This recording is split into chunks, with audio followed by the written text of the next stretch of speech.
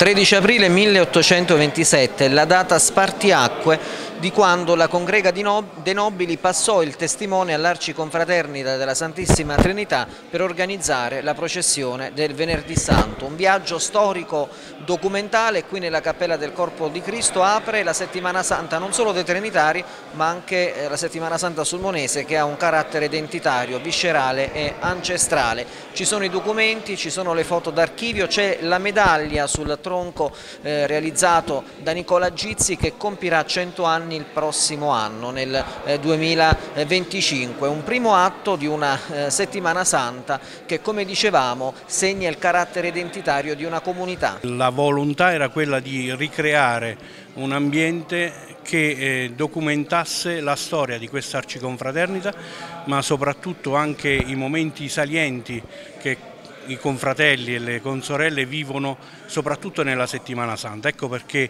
il titolo La settimana santa dei Trinitari, eh, proprio per questo motivo. Ed è stata una riscoperta anche per noi, per alcuni documenti storici che sono stati cercati, eh, spulciati, redatti e messi esposti chiaramente in copia perché eh, gli originali li teniamo ben, ben custoditi, proprio perché questa mostra fosse una mostra fotografica ma soprattutto documentale ed è stata curata da Marco, da Arnaldo, da Anna Sara, da Anna Rita e da Silvia che eh, oggi loro due non ci sono, però eh, Marco e Arnaldo hanno lavorato forse più degli altri. Non è solo per chi non la conosce, ma anche per rafforzare quel legame viscerale e ancestrale che i sulmonesi hanno no? con le proprie tradizioni. Esatto, l'obiettivo diciamo, iniziale era proprio quello, oltre che avere, dare uno stampo turistico, quindi per diciamo, anche accontentare e far conoscere eh,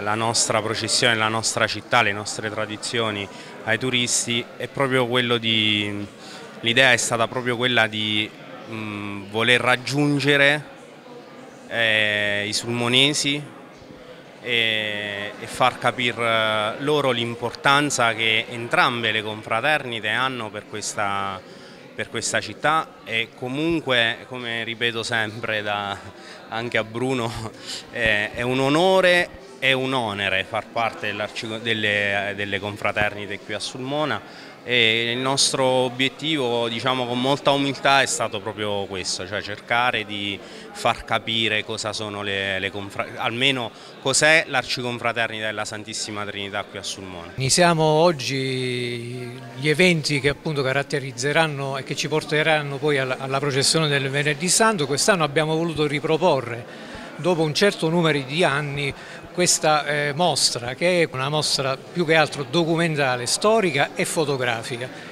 che permetta un po' ai turisti che affolleranno sul Mona di capire un po' quello che andiamo a fare, di avere anche degli elementi per poter meglio eh, vivere la, la, la processione del Venerdì Santo. Un ricco programma, qualche novità e, ovviamente poi gli appuntamenti canonici che eh, appartengono al DNA no, della tradizione sulmonese. Come è strutturata questa settimana? Domani ci sarà il consueto, ormai da più di vent'anni, concerto della Domenica delle Palme di presentazione del coro. Che poi lunedì ci sarà il tradizionale sorteggio per, eh, appunto per le statue e martedì abbiamo programmato insieme al FAI una visita guidata nei luoghi dell'Arciconfraternita. Quindi si arriverà giovedì al rito del, del, dell'Eucarestia con la lavanda dei piedi, noi parteciperemo al, al, al rito a San Francesco della Scarpa mentre venerdì ci sarà la processione. Poi c'è un appuntamento in più quest'anno perché ci riguarda ed è quello della partecipazione anche del coro